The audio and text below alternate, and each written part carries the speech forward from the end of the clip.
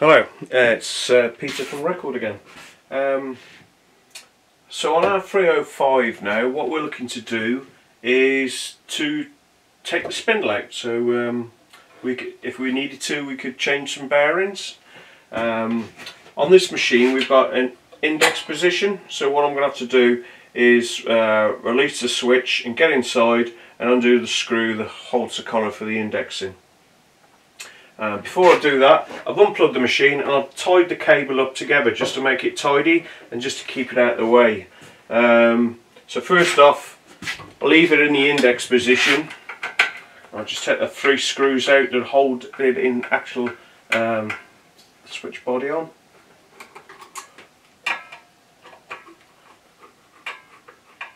This is a little bit of a fiddle getting inside because you have to take the screw and release it so the, the collar can um, rotate.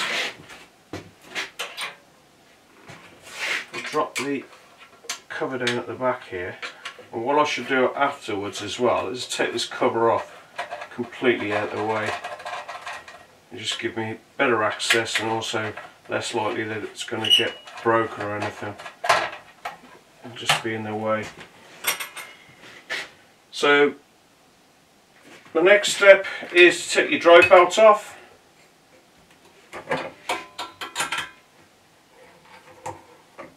Pop that out of the way. That side. And this switch is going to get in the way it's hanging about. So if you've got a rubber band or a bit of string or something, that should help it keep it out the way a little bit.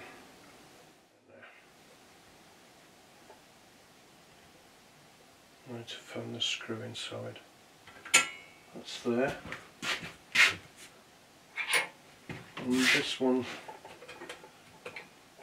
I'm going to need to undo that.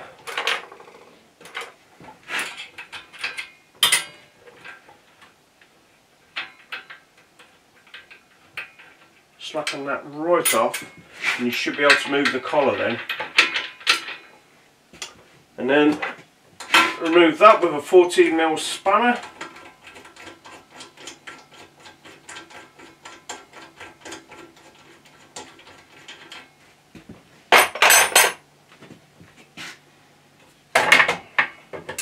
Next step really is to move this round. So I want to remove this cover. Now I've already taken off couple of the screws. If you undo it from the casting, you haven't got to bother with the nuts and everything inside.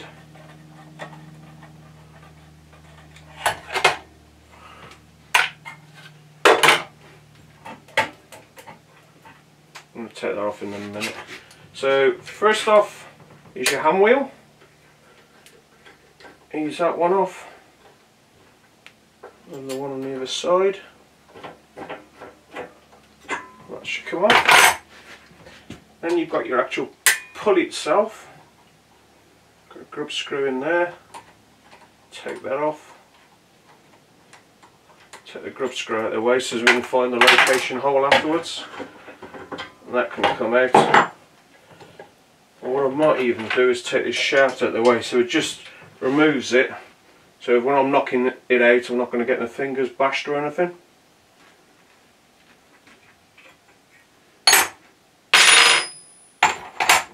My bits in there. I've got a circlip on there. Again with these things it might come off first time I'm a bit of a fiddle. What I normally do is open it out and, and try and put my nail underneath the side of the circlip so it, when I've got some opening on there I can pop it off.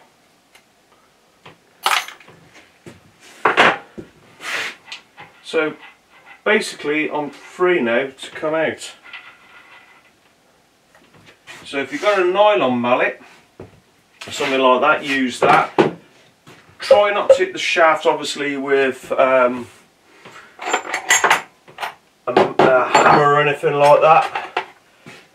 Use something to go into the shaft if you haven't got a nylon mallet. like a screw, maybe put a washer on it so as you can tap it out.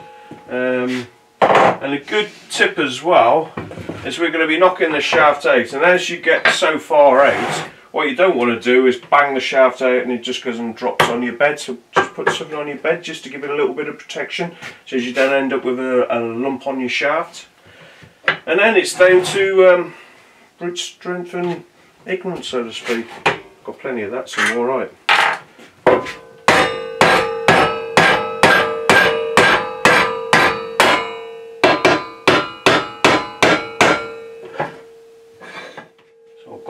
there. Don't forget you still got that collar inside. And on this one, it's a shouldered like sprocket that goes around there. And the shoulder is facing towards the bearing. So if you're not sure as you're going along, you've got your manual and you have a, an exploded um, drawing on there so that's a guide anyway.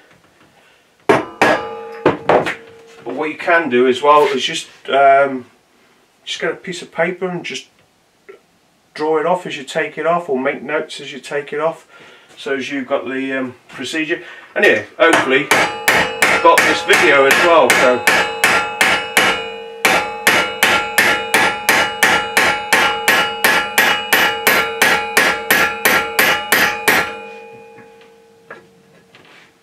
coming to the end of that now.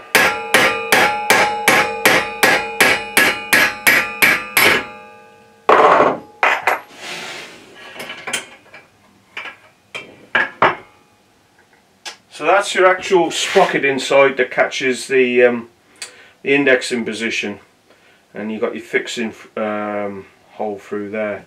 And what you'll find is on the shaft as well, the actual hole itself that you screw into is opposite um, your Tommy bar holes. So those are in line or thereabouts. So if you want to mark that off as well um, you know where your your actual fixing hole is for when we put it back in into the actual um, body again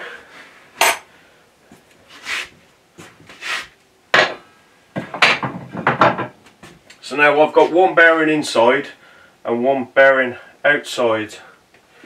So what I could do with then is to uh, remove those out.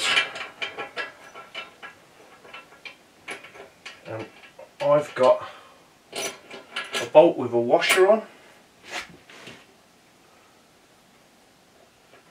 So what I can do is poke that up against there.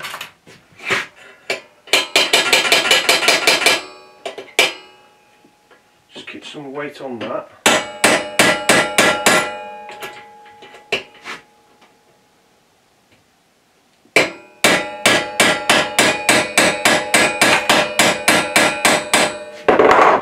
And just to protect my bed again, just put a bit of timber over.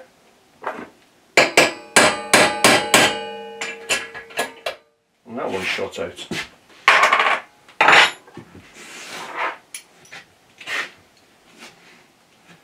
I've got the same again for the back one.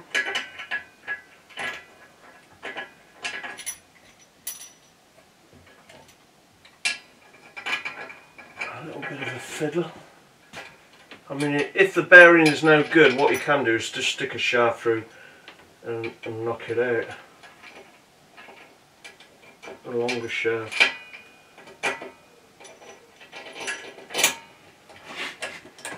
I'm a bit cappy-ended now.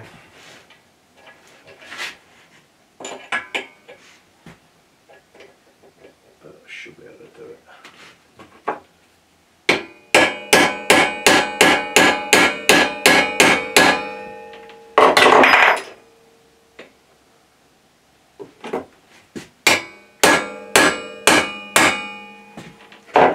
It's coming nicely. Just try and keep it in the centre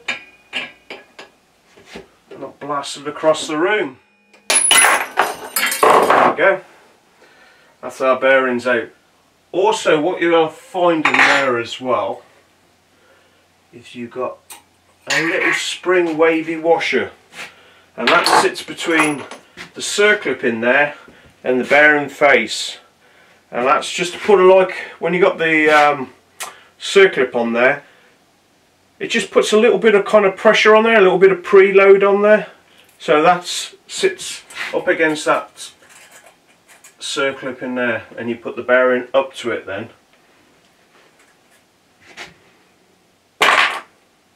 Keep hold of that.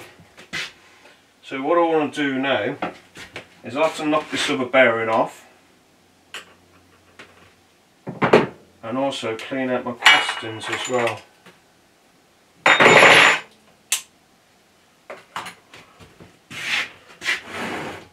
so why I've got it like this I'll just give this a little bit of a degrease in here.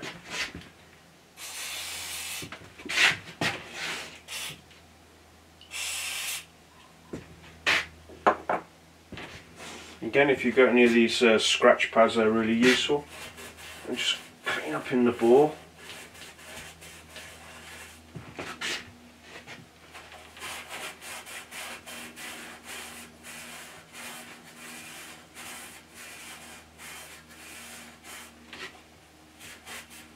I'm not taking anything else, I'm just cleaning it up, just cleaning the, the, the casting out itself.